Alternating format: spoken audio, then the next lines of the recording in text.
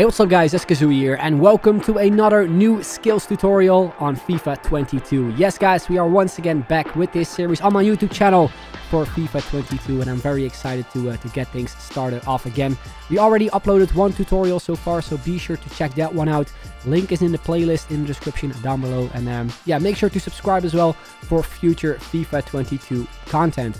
So today we're going to be showcasing you guys a skill move which has changed slightly um, it is called the New Directional Nutmeg. At least I put new to it. It is still the same skill move name.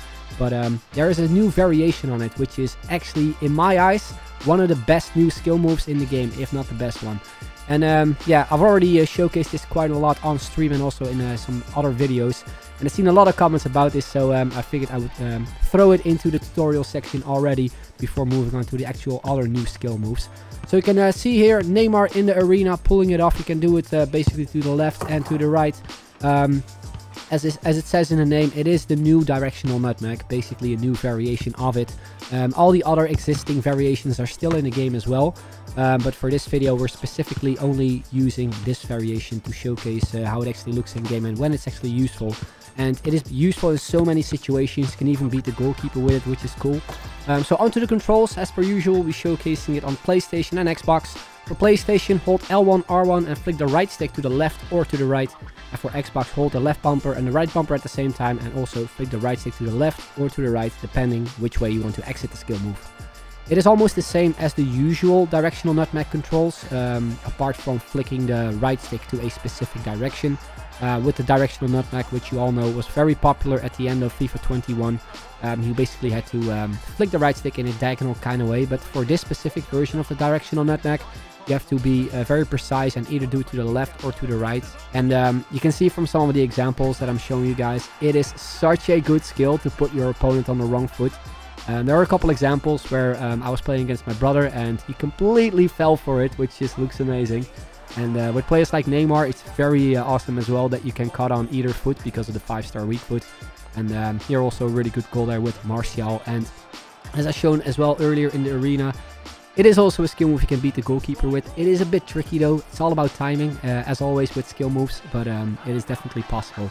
So um, yeah, definitely one of my uh, one of my favorites when it comes to all the new stuff that is uh, being uh, added for FIFA 22. Um, and it's not just only a good skill move to, to set you up for a goal or something, but it is also a good way to beat your opponent and play like a through ball, like you can see here. Beautiful finish there from uh, from Rodrygo. And um, yeah, you can also just easily cut inside with it, go for a finesse, or again pass it to another player, do another skill and score basically. You can you can pull this off in so many different ways. Uh, but remember, you can only do it to the left or to the right with this specific version. Um, as I said before as well, the regular directional nutmeg is still in the game, and I will briefly touch upon it in this video. Um, it has slowed down a little bit, um, which I think they also did a little bit for FIFA 21. But for 22, you definitely notice that um, it has slowed down quite quite a bit actually. But it's still very useful. If you time it right, it is still a very, very good skill move. And you can see from some of the examples that uh, you can still nutmeg people with it and even score an absolute banger like I did here with uh, with Foden. So um, yeah, I've seen a lot of people on social media and also several YouTube videos saying that the directional nutmeg is dead. It is far from dead. I think it has maybe even been. Um, I wouldn't say it's be, it's be better than before, but it definitely has been improved in certain areas. Um, especially the one where you do it backwards is just so amazing to pull off as well.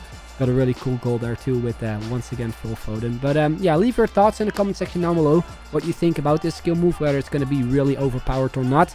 Um, I think it's definitely going to be a strong skill move, but OP, I wouldn't say so because you still have to time it properly. And if you don't time it right, you, you lose the ball in an instant. Anyway, guys, that is where we end off this video. Hopefully you enjoyed it. If you, of course, did, drop a like, subscribe if you haven't already, and hit the notification bell as well for more videos. Anyway, that's the end. I'd like to thank you all very much for watching. I'll see you guys later. Bye-bye.